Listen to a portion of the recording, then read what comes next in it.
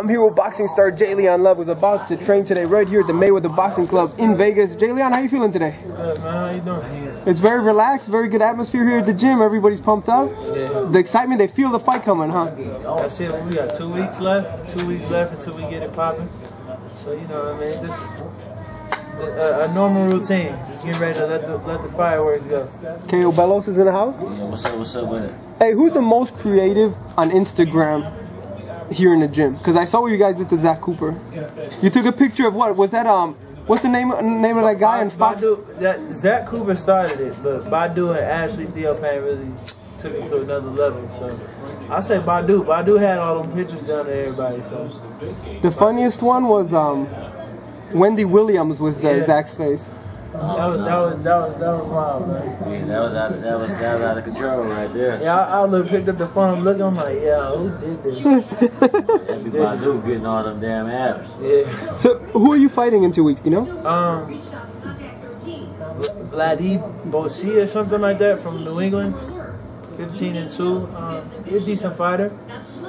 you It's a good record. It's on Showtime, ShoBox. Yeah, you know, we going to do what we do, man. You know, just uh, go out there and, and do it what Jay Leon does best, and that's win.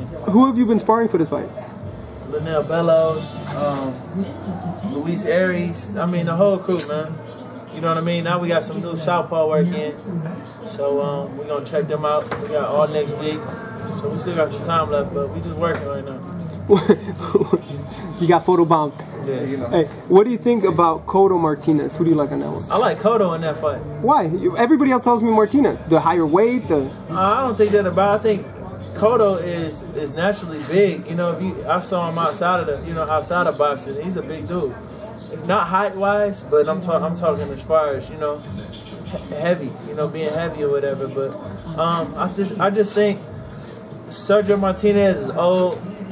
I mean, after every fight, man, this dude come has some leg in, uh, injury, torn this, torn that. I think he's just old now, and uh, it's caught up with him.